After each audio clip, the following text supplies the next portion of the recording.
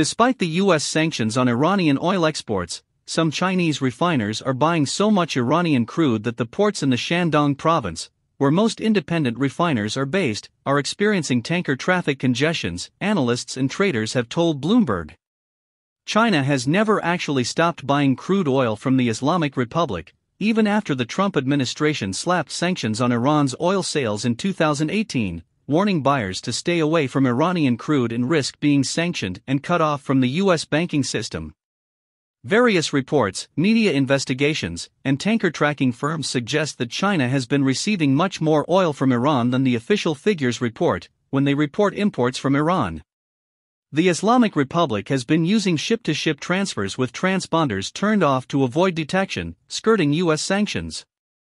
Some Chinese refiners are now taking advantage of the heavily discounted Iranian crude amid surging benchmark oil prices.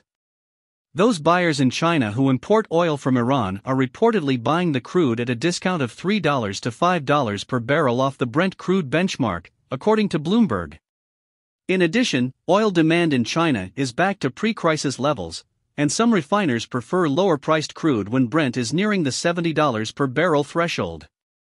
China's imports of crude oil from Iran in March are expected to more than double from February and reach around 856,000 barrels per day, BPD, which would be the highest estimated volume of Chinese imports of Iran's oil in nearly two years, Kevin Wright, a Singapore based analyst at Kpler, told Bloomberg.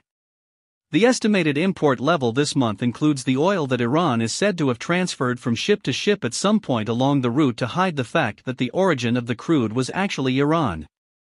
As a result of the higher imports from Iran,